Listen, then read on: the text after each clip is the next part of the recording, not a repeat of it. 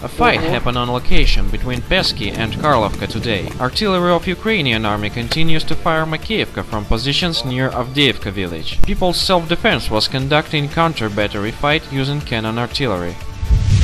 Russia's lower house of parliament, the State Duma, has positively assessed the new UN Human Rights Monitoring Report released Thursday, which urges an investigation into the use of cluster munitions by Ukraine's troops. We definitely welcome the report, but it needs to be more specific, detailed and probably harsher, said the spokesman representative of LDPR fraction Leonid Slutsky.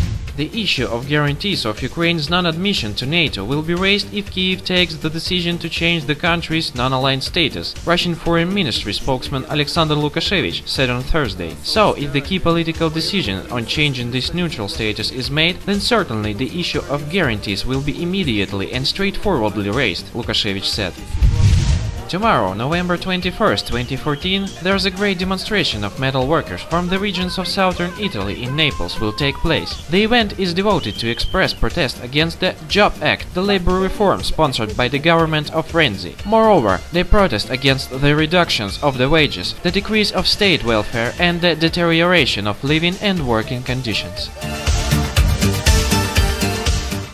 Thanks for watching. Subscribe to our YouTube channel to receive up-to-date news on situation in Ukraine.